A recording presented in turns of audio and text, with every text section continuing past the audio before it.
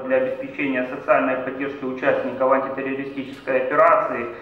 В Николаевской области помимо в районах, городах, э, селах выделено более 2 миллионов, а если быть точнее, 2 миллиона 920 тысяч 541 гривна.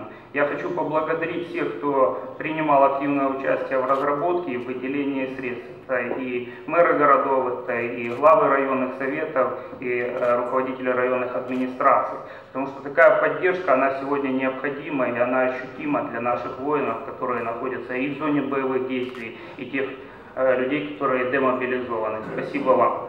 Это помимо областной программы 2,2 миллиона, которые мы выделили.